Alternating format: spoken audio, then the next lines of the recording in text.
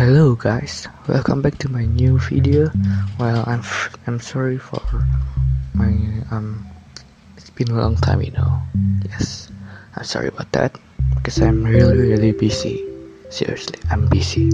So today I'm gonna teach you guys how to jam a Wi-Fi. So, what Wi-Fi? All Wi-Fi in range. Yep so as you can see I'm using the newest Kali Linux. It's Kali Linux 2.0 you can you can download you can download it on their website. It is pretty cool. You know go on and download that if you haven't. So as you can see this is github. This is a link for Wi-Fi jammer let's copy that and type in the I mean type in the terminal git clone and paste the link. Yes. After that press enter and the terminal I mean it will automatically download that to you and you can see that in your home directory. There, there will there will be a directory called Wi-Fi Jammer.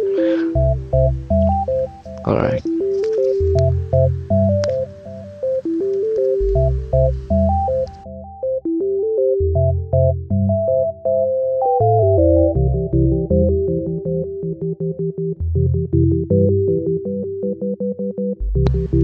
so if you've done that um change the directory um like change directory Wi-Fi jammer yep.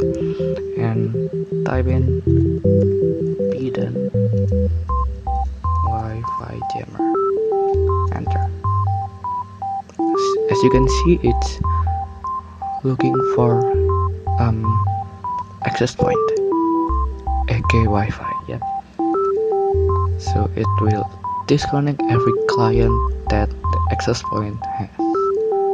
So that's all. That's very simple. So as you can see right now we only have y one um one access point. It's called Gagas Nawa Satya. Yep. And right now it's the authentication. Uh, I mean the outing to client at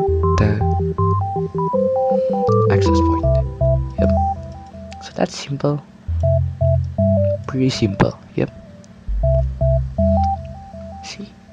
Now the now the color Linux isn't is not connected to the Wi-Fi again because it's you know it's busy jamming.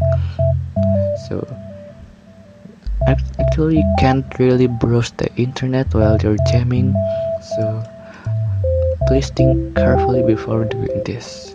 Maybe this is illegal or blah blah blah but you know this is for educational purpose only. I'm not responsible of what you will do. Yes alright. That's all. If you want to close it just control c or close. Alright that's all. Alright thanks everyone for watching and see you in the next video. ASAP